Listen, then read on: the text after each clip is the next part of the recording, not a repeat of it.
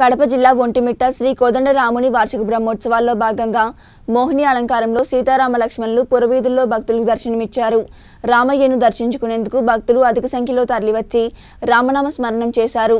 భక్తజన బృందాలు చెక్క భజనలు కోలాటాలతో మంగళ వాయిద్యాల నడుమ స్వామివారి ఊరేగింపు అత్యంత వైభవంగా నిర్వహించారు.